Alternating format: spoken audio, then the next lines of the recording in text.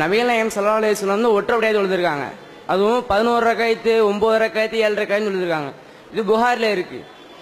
வித்ருவாஜ் தொழுவை வந்து இசாவோட தொழுகிறோம்ல. இப்போ தஹ ஹஜ்ஜ தொழுவை வந்து ஒற்றைப்படை தானா? ரசூலா தஹஜ்ஜது தொழுகைய ஒற்றைப்படையா தொழுதாங்கன்னு இருக்குது. இப்போ இஷா தொழுகை முடிஞ்ச உடனே வித்திரு வாஜிபுன்னு தொழுகிறோமே அது ஒத்தப்படையா இருக்கே என்ன அப்படின்னு சொல்லி கேட்கிறார் அதாவது தஹஜது தொழுகை என்பதும் வித்திரு தொழுகை என்பதும் ஒரே தொழுகைக்குரிய ரெண்டு பெயர்கள்.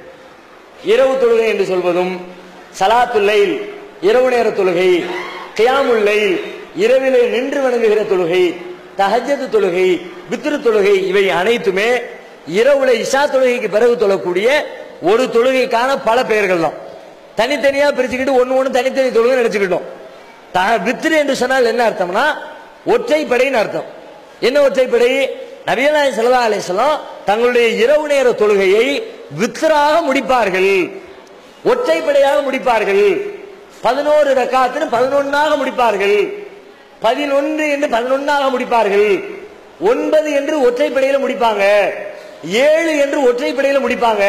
அந்த இரவு இஷா தொழுகைக்கு பிறகு சுண்ண தொழுகை தொழுகைக்கு பிறகு இந்த தகஜத்து தொழுகைங்கிற பேர்ல தொழக்கூடிய தொழுகைய அதனுடைய லாஸ்ட் சலாம் இருக்குதே. அது ஒத்தப்படையா இருக்கும்.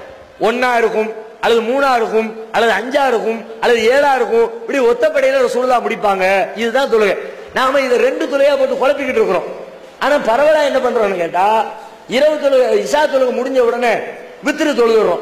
இந்த வித்திர வாஜிபும்பாங்க. வித்திரு வாஜிபுலாம் கிடையாது. வித்திரு வாஜிபு வித்திரு வாஜிபு தான் பேச்சில் சொல்லுவாங்க. வாஜிபுனா கடமைன்னு அர்த்தம். ஃபருல்னு சொல்றோம்ல ஃபருலுங்கிற வார்த்தைக்கு மாற்று வார்த்தை தான் வாஜிபுங்கிற வார்த்தை. வித்திருங்கிறது வரதான தொழுகை கிடையாது. சுண்ணத்தான தொழுகை. ரசூலுல்லா காட்டி தந்தது சுண்ணத்து தான். வித்திரும் சுண்ணத்து தான். அந்த வித்திரை பொறுத்த வரைக்கும் ரசூலுல்லா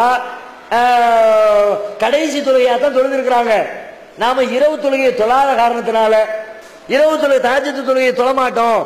தூங்கணும்னா படுத்தா படுத்தது தான் திரும்ப சுபுக்கு தான் எந்திப்போம் அதெல்லாம் பயந்து அந்த கடைசியில் முடிக்கக்கூடிய வித்திரம் ஒத்தைப்படையை மட்டும் தொழுது விட்டு படுக்கும். அப்படியும் செய்யலாம். ஒன்றும் தப்பு ஒன்றும் கிடையாது. குற்றம் ஒன்றும் கிடையாது. மூணு ரெக்காத்து மட்டும் கூட தொழுதுட்டு படுக்கலாம். ஒரு ரகாத்து கூட தொழுதுட்டு படுக்கலாம். ஒண்ணும் மார்க்கத்துல தவறு கிடையாது. ரெண்டும் வேற வேற தொழுகை கிடையாது. ஒருவேளை உங்களுக்கு தகஜத்து தொழுவீங்க பின்னிரவுல எந்திரிச்சு தொழுவீங்க என்று வாய்ப்பு இருந்தால் தொழக்கூடியதற்கான வசதி இருந்தால் நீங்க தொழுகை முடிஞ்ச உடனே வித்திரு தொழக்கூடாது. இஷா தொழுக முடிஞ்ச உடனே வித்திர பெண்டிங் வச்சிடணும். இரவு தொழுகை முடிஞ்சதுக்கு பிறகுதான் வித்திரு தொழுகணும். அப்ப தொழமாட்டோம்ன்ற பயம் இருந்தா முதல்ல தொழுதுட்டு படுத்துருங்க. அதுதான் அந்த தொழுகை. எனவே ரெண்டு தனித்தனி தொழுகைன்றதுனால தான் இந்த குழப்பம் வரும் ஒரே தொழுகை.